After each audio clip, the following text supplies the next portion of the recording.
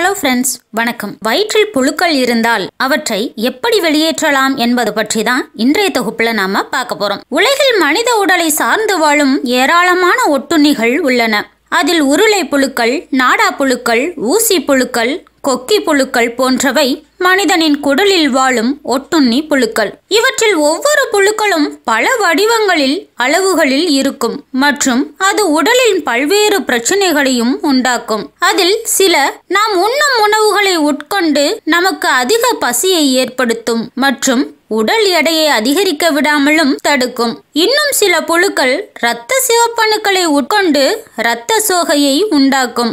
மேலும் சில முட்டைகளை இட்டு அரிப்பு எரிச்சல் மற்றும் தூக்கமின்மையையும் ஏற்படுத்தும். ஒட்டுண்ணிகள் நமது உடலினுள் நுழைவதற்கு பல வழிகள் உள்ளன. அசுத்தமான நீர் மற்றும் உணவுகளை உண்பது சரியாக சமைக்கப்படாத இறைச்சிகள் அசுத்தமான பழங்கள் காய்கறிகள் வாயிலாக இவை நுழைகின்றன. அசுத்தமான பகுதியில் வசிப்பது அல்லது செல்வது மோசமான சுகாதாரம் போன்ற காரணங்களால் குழந்தைகள் மற்றும் வயதானவர்கள் ஒட்டுண்ணியால் பாதிக்கப்படுவதற்கான வாய்ப்புகள் அதிகம். குடல் ஒட்டுண்ணிகள் இருந்தால் வயிற்று உப்புசம் வயிற்றுப்போக்கு களைப்பு அல்லது பலவீனம் வாய்வு தொல்லை குமட்டல் மலத்தில் புழுக்கள் வருவது வயிற்று வலி வாந்தி எடை இழப்பு ஆகிய அறிகுறிகள் தென்படும். குடல் புழுக்களை அழிக்கவும் வெளியேற்றவும் வெதுவெதுப்பான பாலில் ஒரு டேபிள் ஸ்பூன் அரைத்த பப்பாளி காயின் விழுது மற்றும் ஒரு டீஸ்பூன் தேன் கலந்து ஒரு வாரம் தொடர்ந்து காலையில்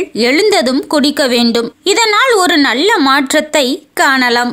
மஞ்சளில் ஆன்டிசெப்டிக் மற்றும் ஆண்டி மைக்ரோபியல் பண்புகள் உள்ளன. இது அனைத்து வகையான குடல் புழுக்களையும் நீக்க உதவும். அதற்கு ஒரு டம்ளர் மோரில் ஒரு டீஸ்பூன் மஞ்சள் சேர்த்து கலந்து தினமும் குடிக்க வேண்டும். இதனால் உடலில் இருந்து புழுக்கள் வெளியேறும். பூசணி விதைகளில் குகோர்பிடாசின் என்னும் ஒட்டுண்ணி எதிர்ப்பு பண்புகள் உள்ளன.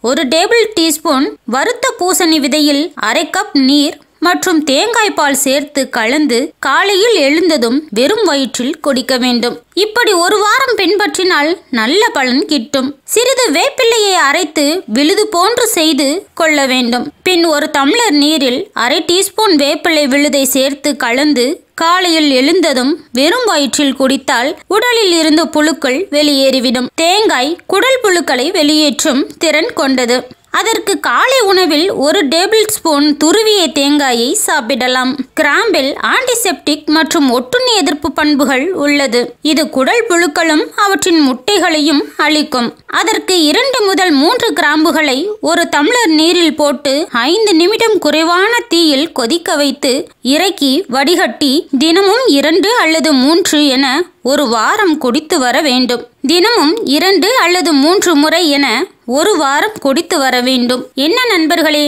வீட்டிலேயே வயிற்றில் உள்ள புழுக்களை வெளியேற்றும் முறைகளை கற்றுக்கொண்டீர்களா? Okay friends thank you